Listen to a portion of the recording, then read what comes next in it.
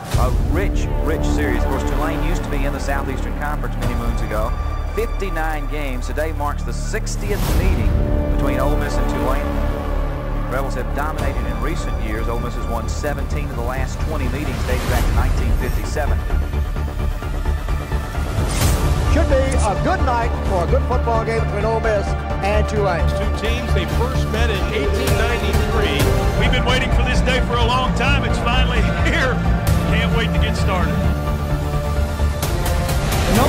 Excited to get back on the field and play some football than the Rebels. Pageantry, the pride, the pomp is unmatched and unrivaled. This is what college football is all about. It's time to play some football.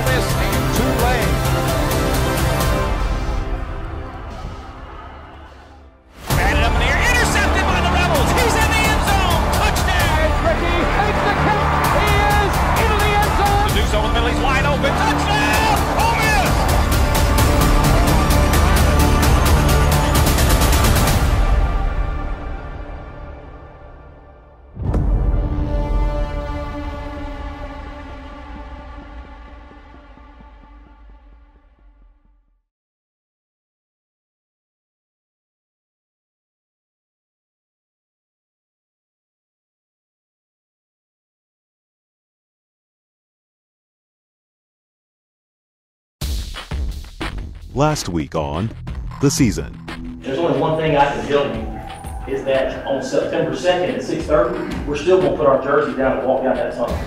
Marquis Hand report for Fall Camp Day One. It's finna be a breeze. Then come back to me later on, watch how much I be dying after this. It's real, confident swagger. And that's what I want to see, man. We earn everything. Don't expect any handouts. We don't want any. Don't waste the rep! Don't waste the rep! Oh, yeah. Oh, yeah. Oh, yeah, Markel! Shoulder pads, first day in pads. Yeah, they're a little hyped up because pads on, right? So we're gonna give them what they asking for. We're gonna beat up on them a little bit.